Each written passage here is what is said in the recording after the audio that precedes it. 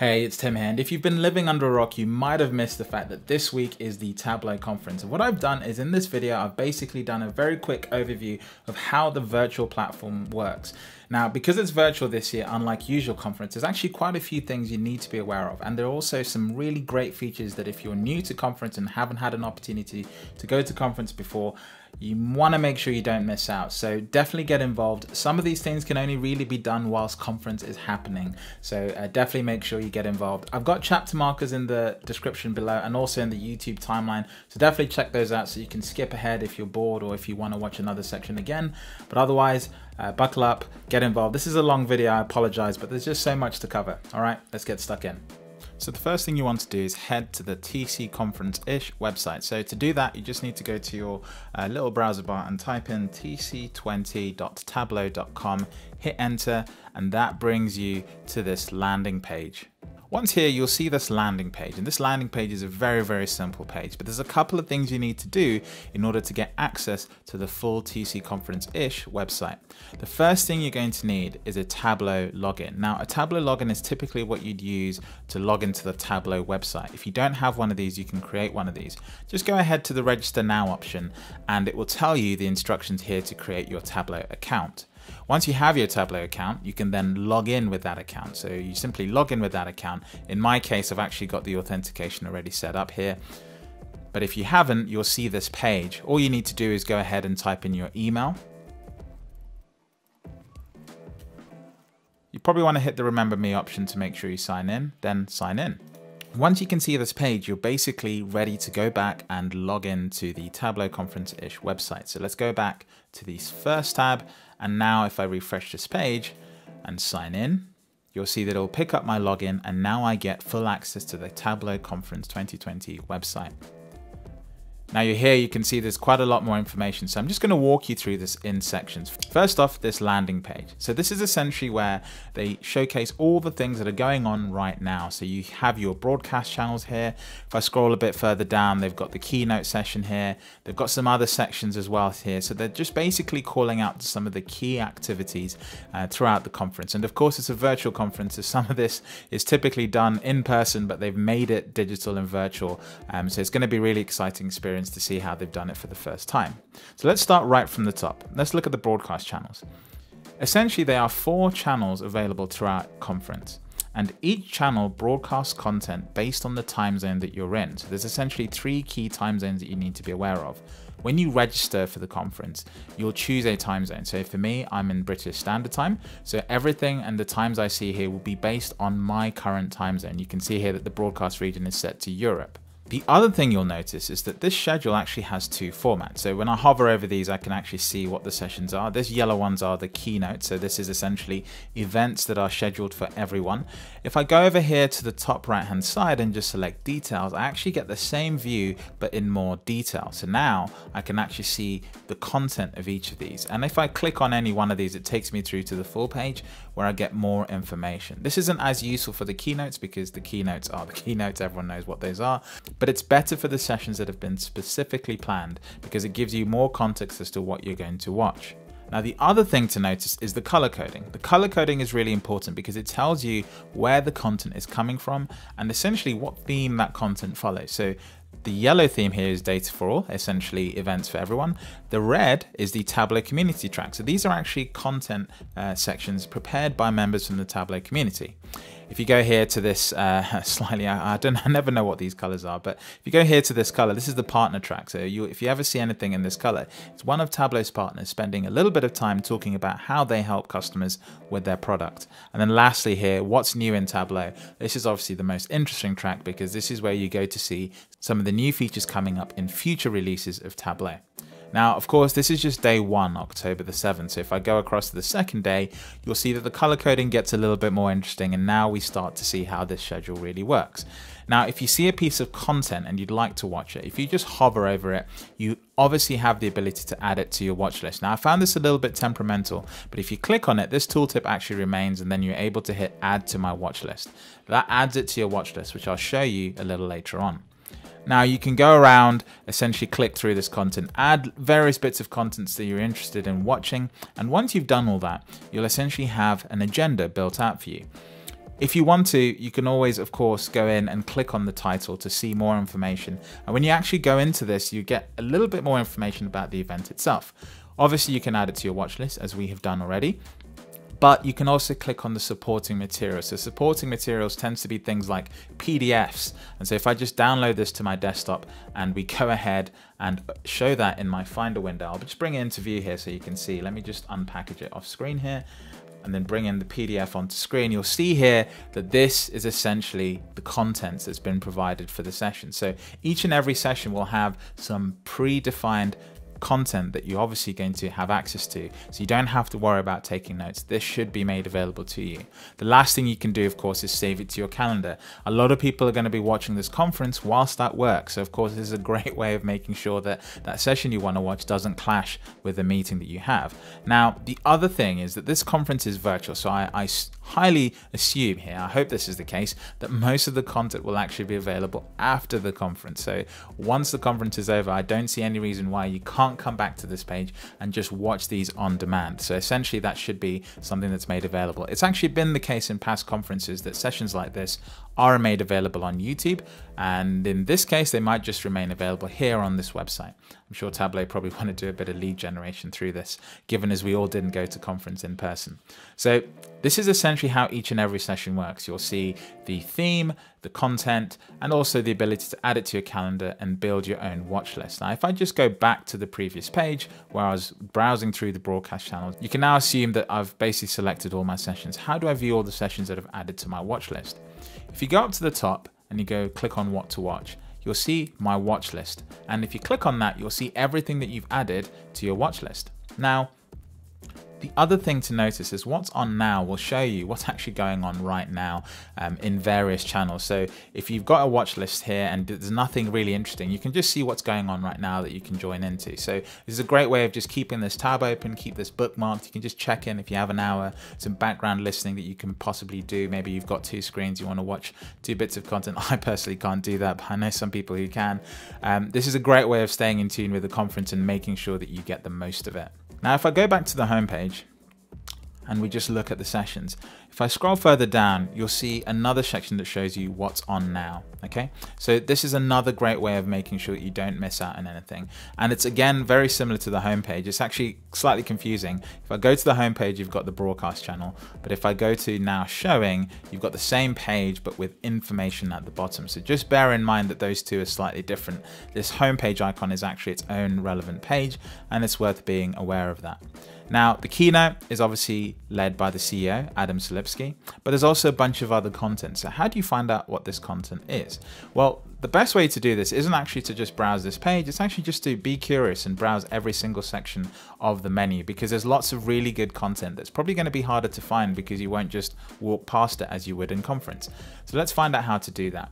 So we've looked at how to add content to your watch list, we've looked at how to browse uh, what's going on. There's this great episode guide which allows you to search content based on your specific region so you can essentially add the right time slot to your meeting. And if you just notice here, there's 313 bits of content, but in each region it's 98 bits of content. So essentially the same content is being played multiple times. Add to that the data for all section, which is basically things like the keynote and so on and so forth, and you basically have all the content that we have available to you. You can also do things like filter it by your role, filter it by category. This is normally useful for sectors. And then you've also got topics. Maybe you're only at conference or maybe you only want to find out more about one specific topic. This is a great way to sort of dig into that. So this is a really really nice way of filtering this content and finding the things you need to know. Okay, so I've shown you how to browse the episode guide, how to add things to your watch list. What else is there to do at conference? Well, let's get involved. So if I go to connect, this is basically where I think you should spend a lot of your time. Tableau conference is a great opportunity to collect to lots of members of the community. So at the very top, if you haven't seen these photos going around Twitter and social media, grab your own, essentially snap a photo, upload it, and you'll get a really nice image here uh, ready to share for the conference. The second thing here is brain dates, and actually this is the most useful aspect of the conference in my opinion. Brain dates are essentially sessions where you get to meet another person from conference, and essentially the idea is that people who have knowledge to share uh, put topics here on the Braindates platform, and then people who want to know about that topic can reach out to them and talk to them about that topic. So I myself have a Braindates profile. If I click launch Braindates here, you'll see that it'll ask me to get started. So if I go ahead and get started, um, it will ask you to basically make sure that you are all registered and ready to go. Once you've done that, you go ahead and click I confirm and click next and then you'll get your own profile. Now the thing here is I'm actually logged into one of my other profiles here, so you won't see the session that I'm offering, but I'll show you how to find sessions in general. You can each just search by topic. So let's say I'm interested in recording videos at a conference, uh, a bit like I do. So if I just hit video, you'll see that actually quite a few people have hit that topic. So You'll see here, this is my session. So if I click on that session, you can actually see recording high quality video guides for users. And if you like that, you can obviously heart this.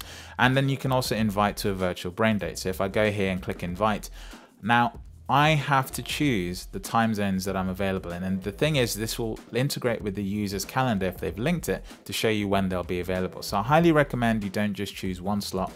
I highly recommend you choose multiple slots so you make sure you have the best opportunity to meet people in different time zones. And just think about that. Maybe do something morning, lunchtime, and afternoon, uh, just to give the person who's running the brain date a bit of flexibility to sort of um, make that work.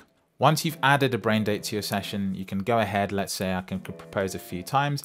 I'm proposing these to myself. So if I just hit continue and stand, this will now fire off that. And you can also introduce yourself. Um, you can say, I'm Tim.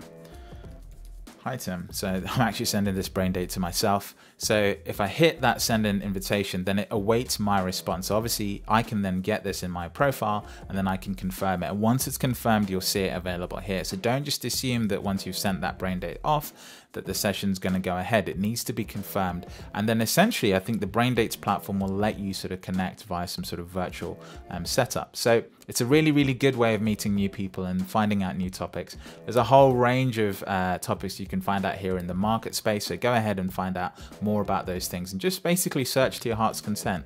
If you want to find out about Tableau Server, I'm sure there's going to be uh, a couple of brain dates about that. So ask me anything um, in Thai. Uh, lots of people from different parts of the world, obviously willing to share information and knowledge. So get involved. The group sessions are probably the best ones because um, when you're one on one, you tend to not have as many people to bounce ideas ideas off, and actually the conversation can become very linear. Whereas in you, as Whereas if you're in a group, it's slightly easier to actually have ideas and the discussion can go in places that maybe two people wouldn't have gone down, but maybe a group would. And it actually means it's a, it's a sort of a better richness of conversation and less awkward moments if there's not much conversation to talk about. So you can see here my colleague Jonathan has uh, set up a brain date on Tableau server on AWS and uh, it's a great way of sort of going in and finding out about that. Obviously this session is full so unfortunately, um, you can't get into those. And actually, you might find a lot of the sessions you want to do are full. So just maybe connect with those people on Twitter and LinkedIn and just see if they've already created content about that because the likelihood is is that they have. So um, just go out and find out more about that and see see what you find um, out in the conference.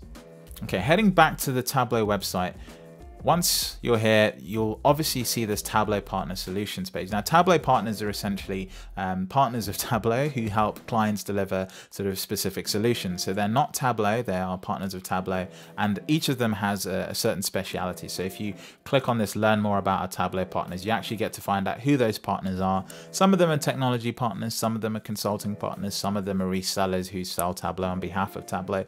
But there's a whole range of content here that you can find out about. You can also think of some some of these as sponsors essentially. So it's a really good way of understanding sort of um, what they have to offer. But as well as being sponsors, some of them are actually partners. So you tend to find partners sponsor the conference because obviously it's a sort of a mutual benefit to both to both partners. So that's a great way of finding out more about those um, individuals.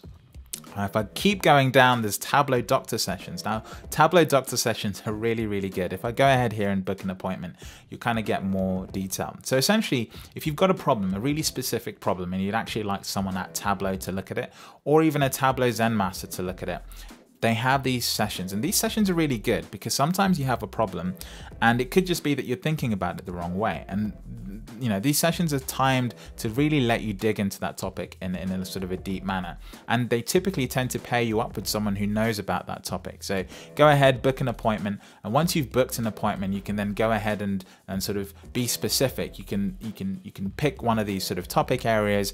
Uh, maybe it's survey analysis. So you know they've sort of bucketed this in a really really nice way you can choose a time slot, then the expert, and then once you've done that, you've scheduled your meeting, and pretty much you're good to go. So there's a little bit of control here, probably more than what you'd have had at conference, because at conference it's like 20, 30,000 people. you don't get as much choice there. You get to see who's available at that moment in time. But here, there's obviously a little bit more sort of um, uh, customization as to how you sort of tailor your session. So that's a really great place to go and find out more. The last thing is obviously the community. Um, if you're not part of the Tableau forums, go ahead and get involved. If you've never been to the Tableau store, if you're a really big part of the data community and you don't have swag, I don't know what's gone wrong there. So go to the shop and grab some uh, some merch if you haven't done so, or go to the next Tableau conference. I'm sure next year we'll hopefully be back in swinging in person, and Tableau merch is always uh, sort of fun to have uh, and get involved with. So that's pretty much it for the Connect uh, section of this of this conference. Now there's the gallery. Now the gallery is really cool. If you go to this gallery, it basically shows all the profiles, people who've taken those profile photos. It's like a, a nice way of meeting people at conference and just seeing who they are. Um, you can't really do anything with these profiles, so you can't click on them. But I think it's a nice way of sort of showcasing the diversity of the community, the range of places that people are coming from, and it's a nice way of just sort of uh, meeting people uh, in the community. But this is basically sort of a, nice tab to have up on you know full screen somewhere and just see you know who, who's coming to conference, what do they look like, who are the people, and you get to connect with the personalities a little bit more. Okay, so the next thing I want to show you is the Tableau Public Viz Gallery. Now, I think this is personally a, a, very hidden part of the website. If you head to the Tableau homepage here, to the conference homepage, just hit that icon there. Then scroll down to the bottom. On the right-hand side, you'll see this Tableau Public Viz Gallery. Go ahead and hit Visit, and that will take you to the gallery. Now, you can go full screen, but there's actually a bug where if I go full screen, I can't show you some of the vizzes.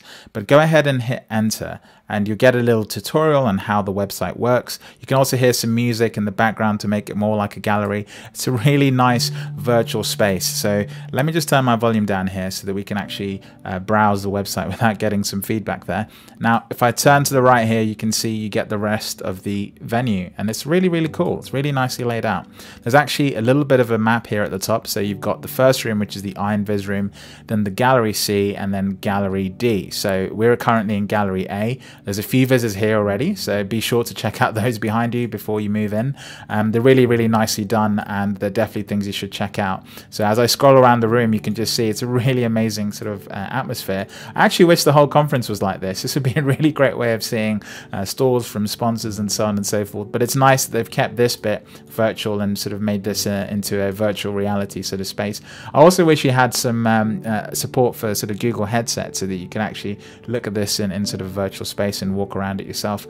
The cool thing you can do though is you can interact with these vizzes. So if I stop here and look at the Iron Viz wall here, these three vizzes are the uh, winners from the Iron Viz feeder. So they'll actually be going head to head on Tuesday. I think Tuesday or Wednesday. Uh, definitely make sure you look at the schedule to make sure I've got that right. But if I hit on Alex's here, Karuna here, um, this is a really, really nice viz. Um, I saw this uh, as a judge during the feeder sessions and I thought it was one of the most amazing vizzes I've come across, really nicely done. But all of these vizzes, in fact, if I look at the next one by Simon Beaumont, this is a really cool viz again. It's amazing how simplicity nearly always wins these feeder sessions. You know, they didn't go too hard on a particular thing. They kept focus on a story and really focus on what they were showing and they're using really simple charts in a really effective way and that's some of the best tips I can give you to getting through to the Iron Viz feeder. Obviously if you click on the Iron Viz logo it comes up with a schedule and a time. So you can only vote in the Iron Viz by the way if you're watching in the time zone that it's actually being hosted in which is the American time zone. So if you want to watch live and vote live make sure you watch in that time zone otherwise in all other time zones you'll be watching sort of a replay of the thing and you can't vote. If I go to the rest of the room, let's go to the red room. We can see more visitors here as well. So I, I, am always amazed how some of these are built in Tableau. Like if I just look at this one here, meteorites right in front of me. Um, this is incredible. This is like just just the creativity to think of this and then make it in Tableau is amazing. And I always look at these things and go, how on earth has that been done in Tableau? And sometimes it's really simple. It's just some really creative thought that's gone into it. And in other cases, I'm just bewildered. I just don't understand what's going on. And so I take a mental note to go away and learn what's in the viz and figure out how to introduce this into my own work. If all you did all year was figure out how each and every one of these was built, you'd learn so much about Tableau. So if you want to use that as a way of learning Tableau, then go ahead and do that. But that's pretty much it for the Tableau Viz Gallery. highly encourage that you check it out. You go have a visit. And of course, you go to Tableau Public where all these vizzes are hosted um, 24 7 and you can download some of them and play with them and sort of enjoy them to your heart's content. Okay, let's head back to the Tableau Conference webpage and look at the next feature. If you've got any questions about this website, obviously you've got an FAQ here. If I just click on that again, you'll see that this is a great page to have your questions answered, learn more about what's going on, and they have little videos about each of these things. So you can actually find out how these things work. They're really, really great ways of finding out how everything works. Uh, I'll just, you can see the videos here are really, really nicely done, uh, and they just explain the concept a bit for people who haven't had the opportunity to come to conference before. Uh, there's a whole range of questions there. So this is definitely a great place to start with questions, but of course you can just ask people in the community and they're more than willing to help. Last but not least, post conference, there's always a load of content that's available. So be sure to check out some of these uh, hubs and resources that Tableau have always had available. So feedback, ideas, um, talking to devs, the Tableau blueprint, customer stories, and, and a whole range of other resources, including training content. If I just open this in a new tab, you'll see here that uh, they've always had these articles, blogs, uh, galleries, and white papers that go into certain topics in extreme detail. So if you're maybe looking to get um, deeper into certain aspects, then by all means jump into that and get involved. So that's pretty much it. That's a very quick tour. I tried to keep this video short um, to just give you an overview of how the website works, how to make the most most of it and basically engage with other people um, through the platform. So thanks for watching. Um, if you know someone who'd find this video useful, share it with them. Uh, I really, really appreciate that. Otherwise, I hope to catch you at conference, hope to catch you at a brain date if you're interested in that. Find my session, reach out to me. Um, I'm going to be setting up a Discord channel soon. So if you don't get an opportunity to talk to me at conference, well, don't worry. We will be setting up a Discord for this channel at some point very, very soon. Be sure to look out in the comments because I won't necessarily announce it straight away. Probably going to want a bit of an alpha and a beta setup initially, um, but get involved and I'll find you in the community a little later on. Okay, thanks for watching. If you liked it, you know what to do. If you didn't like it, let me know in the comments and we'll try and improve the quality of the content we're making. I'll catch you in the next one.